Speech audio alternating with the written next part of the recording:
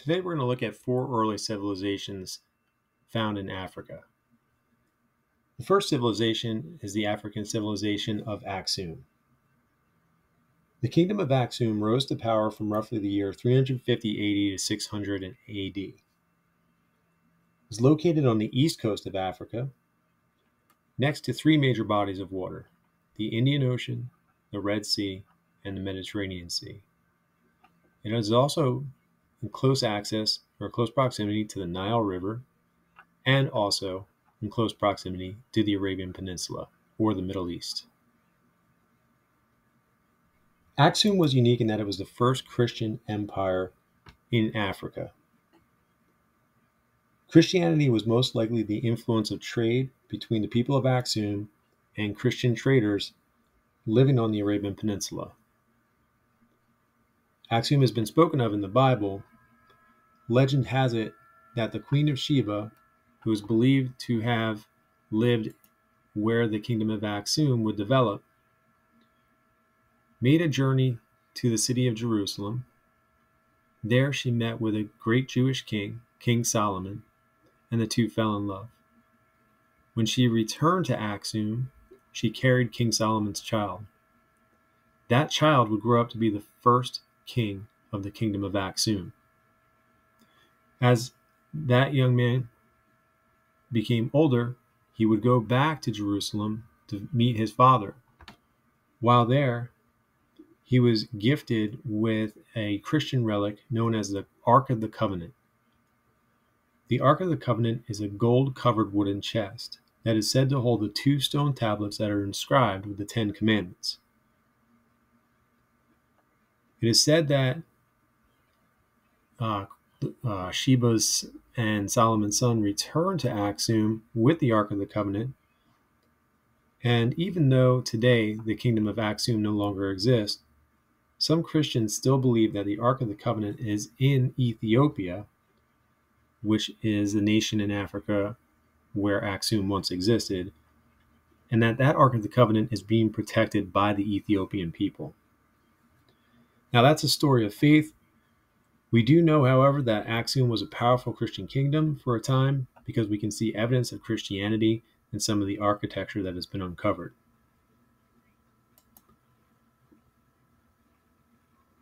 Now, the Aksumites built a complex infrastructure and they traded with other Eurasian civilizations. Evidence of Aksum's influence has been found by the fact that coins that the Aksumites used have been located as far away as India. Furthermore, evidence of their advanced engineering or their sophisticated engineering has been found in ruins of great cities like the city of Adelon this is an artist's rendering of the city of Adelon, but it demonstrates uh, how sophisticated Axumite architects and engineers were. We have also found steles, which are like large monuments. Maybe a better way to think of what a stele is, is if you know what a tombstone is. If you've been to a cemetery, you've seen a tombstone. A tombstone marks where somebody has been buried. Sometimes often actually on a tombstone you'll find a person's name the year they were born the year they died and maybe a little bit about their life inscribed on the tombstone steles like tombstones tell a story about the person who is buried beneath them so they're like great tombstones for great people most likely they mark the burial of very important people in Aksum society. How did Aksum prosper? Well, Aksum controlled trade among Africa, India, and the Mediterranean. How did they accomplish this? One way is that they sailed on dhows, which were these nimble wooden boats. This uh, and using these boats, they were able to expand trade in the Red Sea and the Indian Ocean. And they traded for things like tortoise shells, ivory, gold, emeralds, spices, and incense.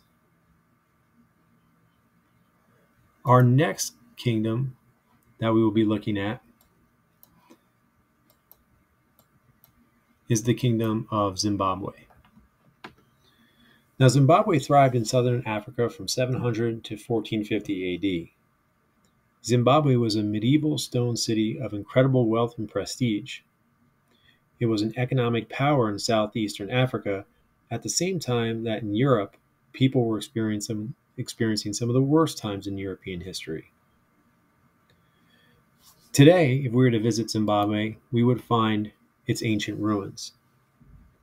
Zimbabwe is the site of the largest known settlement ruins in sub Saharan Africa. They are second in size to the ruins of ancient Egypt, which are the largest ruins found in Africa.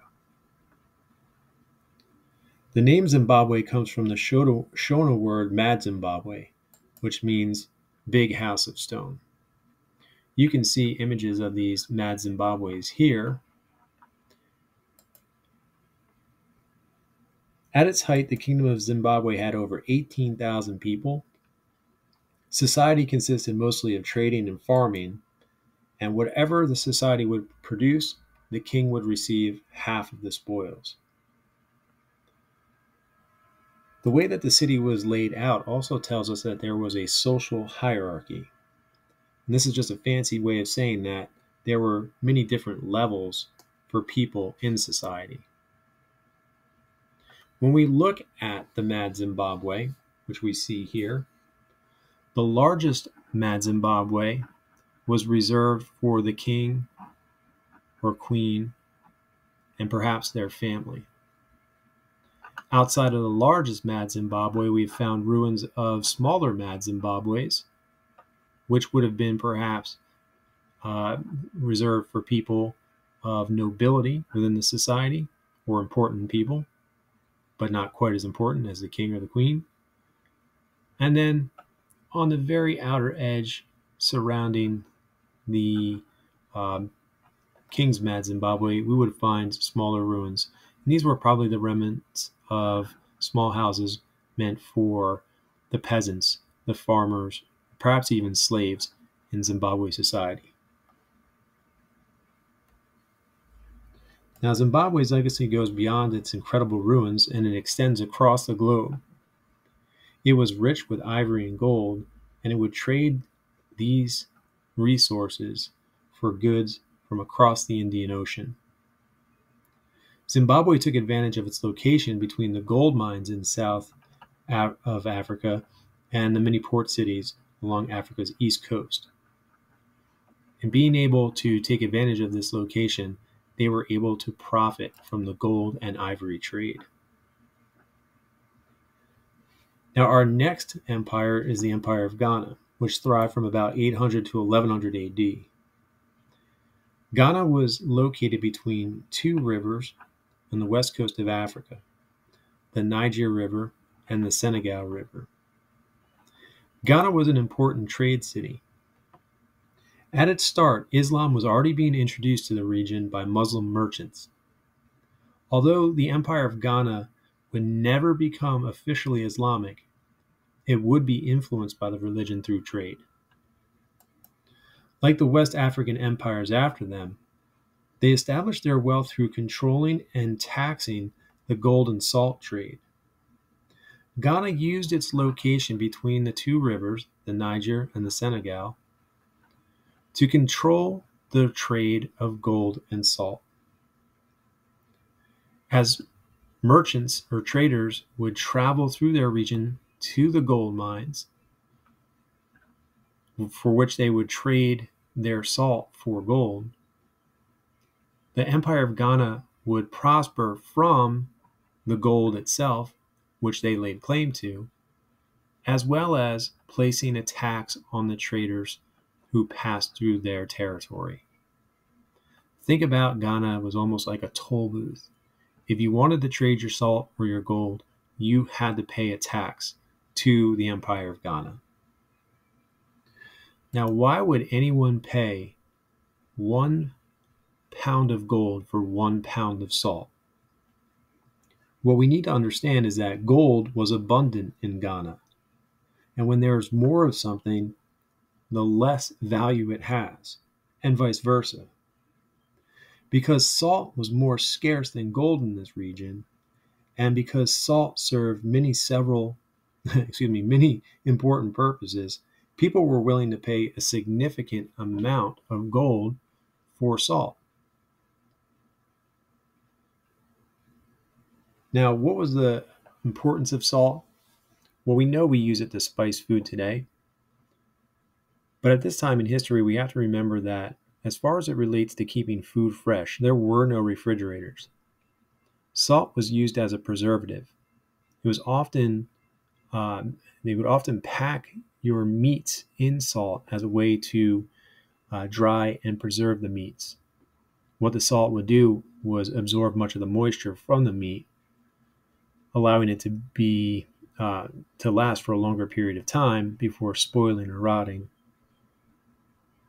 This was extremely important, especially in an environment as hot as Western Africa. Now, Ghana's kings never accepted the religion of Islam, and in part because of their refusal to accept the religion, the empire would fall.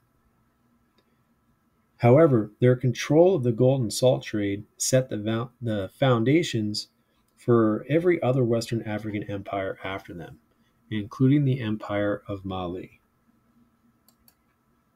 Now, the Empire of Mali flourished from the years 1200 to 1500.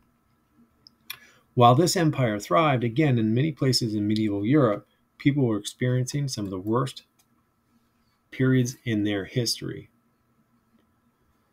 The rulers of Mali took control of the gold and salt trade established by Ghana, and the Mali Empire became a center for wealth, education, and Afro Islamic culture. Not only was the Empire of Mali active in the gold and salt trade, but it was also active in the trans Saharan slave trade.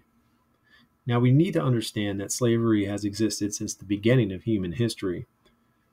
It was no different in Africa or in the Empire of Mali where prisoners of war often became slaves and were sometimes traded just like any other commodity or thing of value.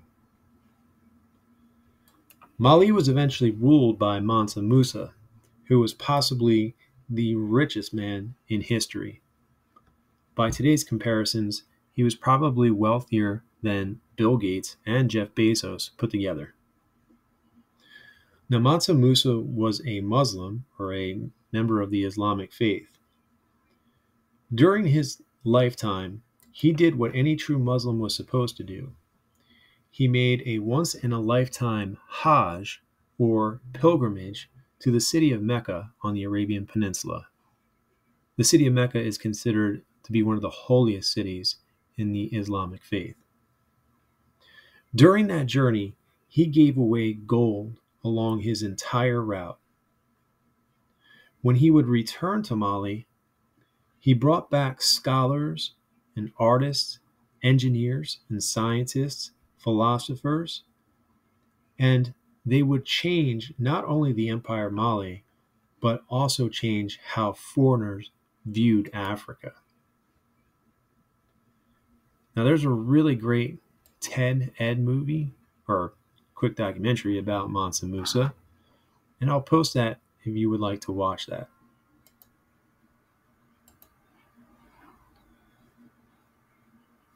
Now, news of Mansa Musa's wealth became so famous, he was eventually included on what was called the 1375 Catalan Atlas.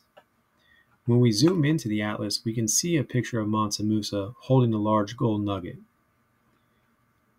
Mansa Musa literally put Africa on the map. It was further proof that African civilizations were sophisticated and advanced.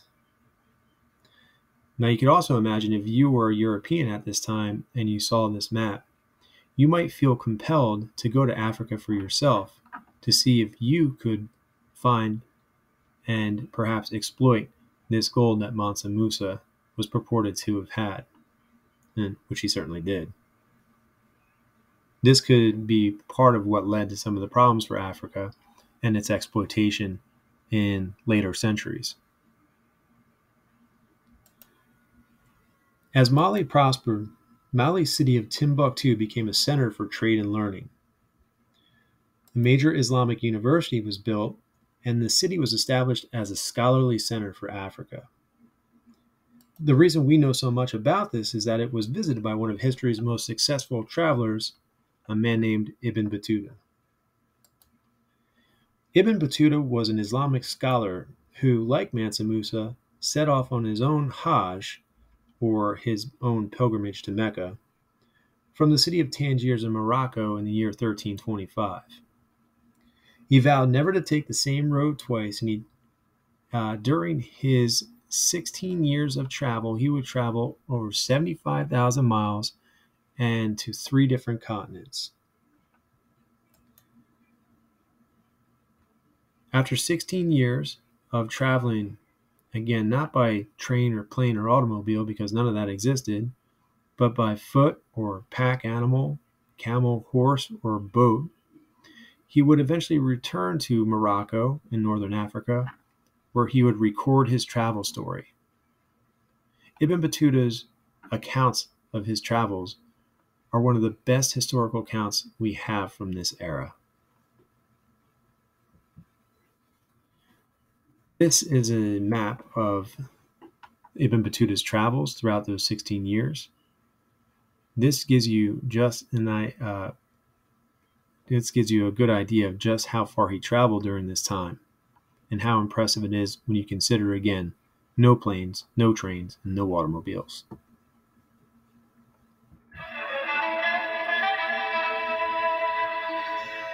Because of Mansa Musa,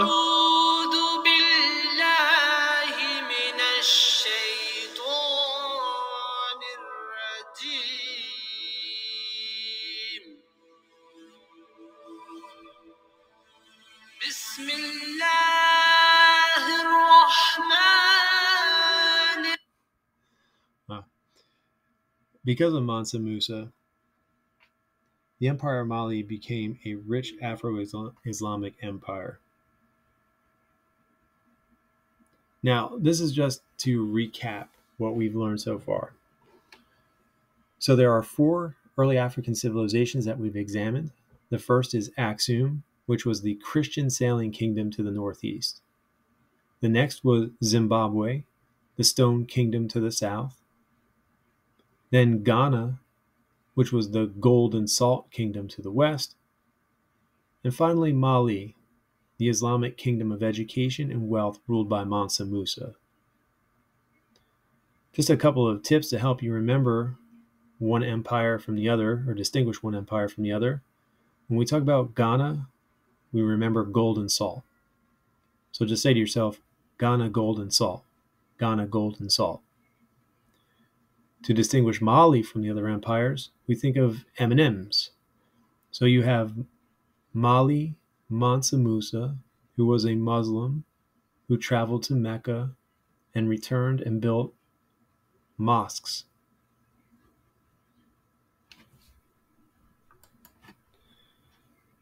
Now, how did African history survive? The histories, cultural practices, and stories of early African civilizations were preserved and passed down by African storytellers known as griots. In some African societies, they did not record their histories, but instead they memorized them. That was the job of the griot. Their job was to remember their histories of their people and to be able to recite and pass on those histories to future generations.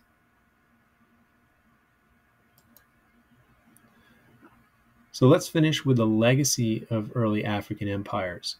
These are the three big takeaways that we should understand after viewing the early African civilizations. Number one, we should know that African civilizations were sophisticated and advanced for their time. They had established trade, religion, and government. They were thriving in many ways better than some other places in other parts of the world. Africa was and is rich with a variety of landscapes, cultures, and histories. Africa is not just one thing, it is a diverse continent, whether it is its geography or its peoples and its histories. And finally, although slavery did exist in Africa, it would be the arrival of Europeans that would make slavery worse. So slavery has always existed, and in Africa is no different. But when Europeans would arrive, they would make slavery, the practice of slavery, worse. And here is just a glimpse of Africa today. Sometimes when we think about Africa, we get the image of this uh, village down here in the bottom right corner in our minds. And certainly we can find places like this in Africa today. This is, in fact, a village that would have been found in the Republic of the Congo. However, we can find advanced, sophisticated, maybe even futuristic cities in Africa today. In this upper left hand quarter is the city of Cairo in Egypt. You can see it's been built on the banks of the Nile River. If you were to turn this camera the other way, you would be facing the desert. You would see the pyramids, you would see the Sphinx. But it is a modernized city. Down here is the city of Johannesburg, which is found in South Africa. Again, a very sophisticated, advanced, modern city. And then you have this seaside village over here. This would have been, or this would be found on Africa's west coast along what is called the Ivory Coast. So, as you can see from these four pictures of Africa today, it is a diverse and in some ways advanced and sophisticated society.